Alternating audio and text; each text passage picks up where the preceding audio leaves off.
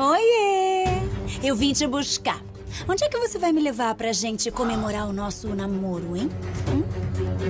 Hum. Eu posso te contar um segredo? Fala. O meu namorado é gatíssimo. E aqui na minha frente tem uma mulher encantadora.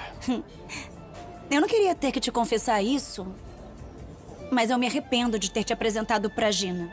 Eu jamais imaginei que vocês dois iam acabar namorando, né? Por que você falou dela? Eu não sei. Ultimamente eu tenho pensado muito nela.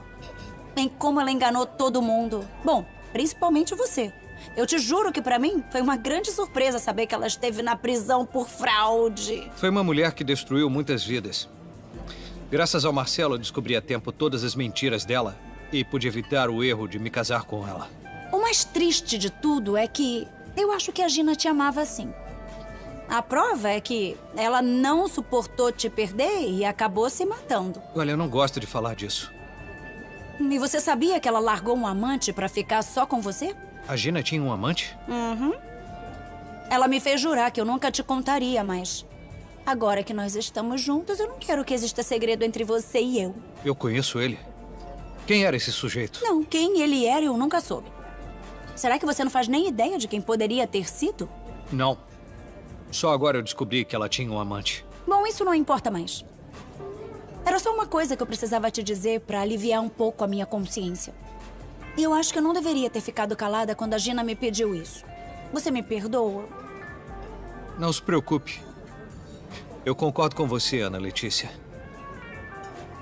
Eu também não quero que haja segredos entre nós dois. Você sabe que o Marcelo e eu éramos grandes amigos e nos tratávamos como irmãos. E bom, como você deve entender, ele muitas vezes vinha até mim em busca de algum conselho ou simplesmente para desabafar. É, eu sei, eu imagino. Eu tô sabendo da crise que houve no seu casamento. É? Uhum. Um dia ele estava muito triste e me confessou que você havia pedido o divórcio. Ah. Pois é. A gente teve uma discussãozinha sem importância, como qualquer casal tem, mas. Eu reagi da pior maneira. Foi uma bobagem minha. O que ele me disse depois foi uma coisa que me deixou extremamente intrigado e que eu gostaria de esclarecer com você. Ai, você tá dizendo isso tão sério que agora eu me sinto interrogada.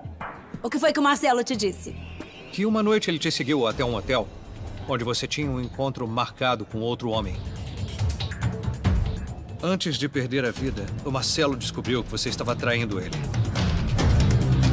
É que o Marcelo estava muito obcecado para encontrar a Ana Lúcia. Eu implorei de mil maneiras para ele deixar esse assunto de lado, mas não. Ele não quis me escutar. É a sua irmã. Por que não queria que ele a encontrasse? Porque a Ana Lúcia tá morta, Ramiro. Ela tá morta. Você não tem como garantir isso. Ai, eu sei que eu não tô errada. E quer saber? Eu cresci ouvindo a minha avó chorando todas as noites por causa dela. Implorando pra Deus pra ele trazer de volta a menina que se perdeu. Mas a atenção dela era toda pra Ana Laura e pra menina perdida. E eu? A minha avó se esqueceu de mim. E a mesma coisa estava acontecendo não, com o Marcelo. Letícia, tava. não era assim. Essa é a verdade. O meu marido estava dedicando todo o tempo dele para aquela maldita investigação. E ele foi se afastando de mim. Cada vez mais. E eu me senti sozinha, Ramiro. Muito sozinha. É sério, se o Marcelo não ia viajar atrás de pistas, ele ficava o tempo todo trancado naquele escritório. E eu ficava lá, deitada na minha cama, esperando até que o sono vinha e eu acabava dormindo.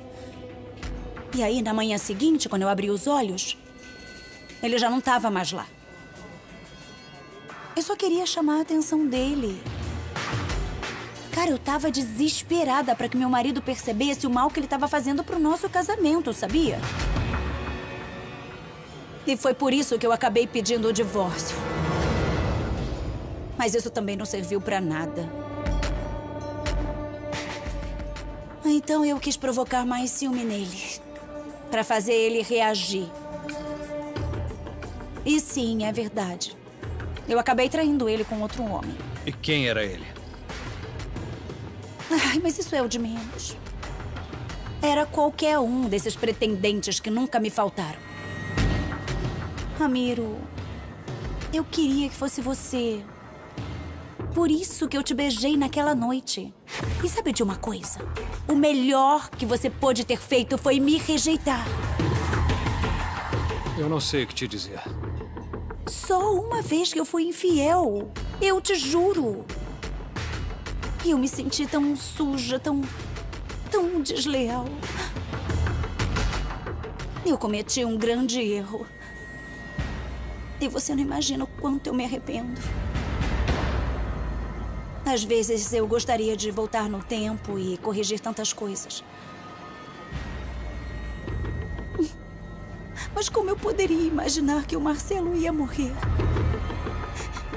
E que eu ia perder ele para sempre, Ramiro? Como? Que se puede, se puede